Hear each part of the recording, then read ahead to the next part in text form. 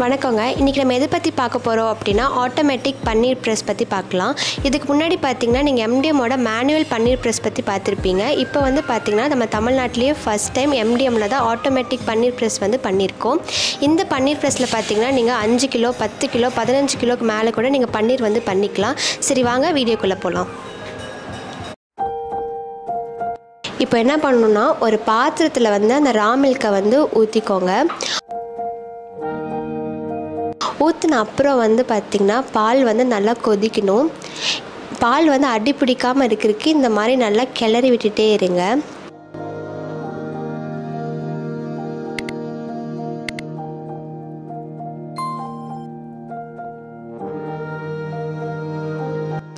இந்த மாதிரி நல்லா கெ கிளறி விட்டுட்டே இருங்க. இல்லைன்னா வந்து பால் வந்து அடி பிடிச்சிரும்.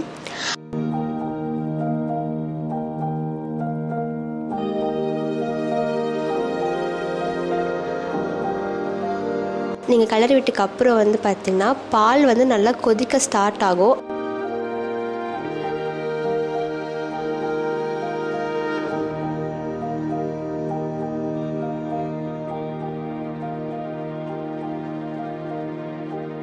அப்போ வந்து பார்த்திங்கன்னா நீங்கள் லெமனோட சாரை வந்து அந்த பாலில் வந்து ஊற்றணும் நீங்கள் பாலில் வந்து ஊற்றின அப்புறம் வந்து திரும்பவும் அதை அந்த பாலை நல்லா கிளறிட்டே இருங்க.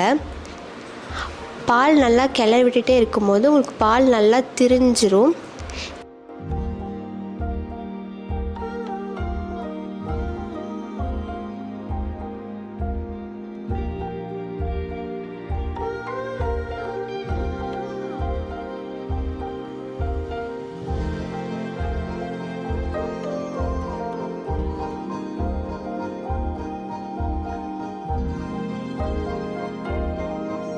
திரிஞ்ச பாலை வந்து இப்போ என்ன பண்ணுவோம் அப்படின்னா ஒரு ஒயிட் கிளாத்தில் வந்து அந்த பாலை வந்து ஊற்றிட்டு வடிகட்டிடணும்.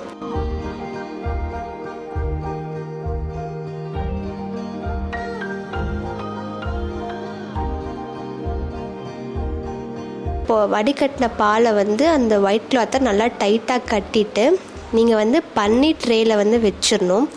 பன்னீர் ட்ரேயில் வச்சோடனே ஒரு எஸ்எஸ் பிளேட்டை வந்து அதுக்கு மேலே வச்சுட்டு நீங்கள் வந்து எஸ்எஸ் டீ ராடை வந்து உள்ளே வந்து நம்ம ப்ரெஸ் பண்ணுற மாதிரி இருக்கும். அதுக்கு முன்னாடி வந்து பார்த்திங்கன்னா கம்ப்ரெசரில் ப்ரெஷர் கேஜ் வந்து ஃபிக்ஸ் பண்ணிக்கணும். சிக்ஸ் பாருக்கு வந்து நீங்கள் வந்து ஃபிக்ஸ் பண்ணிக்கலாம். நீங்கள் வந்து கம்ப்ரெசர்லேயும் ரன் பண்ணிக்கலாம். இல்லைனாலும் ஃபுட் பம்ப் யூஸ் பண்ணிக்கலாம். அதாவது இந்த காரு பைக்குக்கெல்லாம் யூஸ் பண்ணுவோம் பாருங்கள் ஃபுட் பம்ப் அதுலேயுமே நீங்கள் யூஸ் பண்ணிக்கலாம்.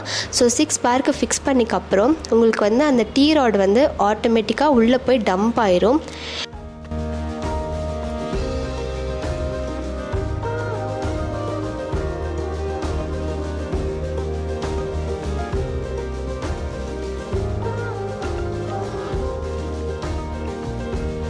டுவெண்ட்டி டு தேர்ட்டி மினிட்ஸ்க்கு அப்புறம் நீங்கள் வந்து அதை ரிலீஸ் பண்ணிடலாம். ரிலீஸ் பண்ணிக்கப்புறம் நீங்கள் உங்களுக்கு ஆட்டோமேட்டிக்காக பன்னீர் வந்து கிடச்சிரும். கிடச்ச பன்னீரை வந்து ஒரு பிளேட்டில் போட்டுட்டு நீங்கள் வந்து பீசஸாக பண்ணிக்கலாம்.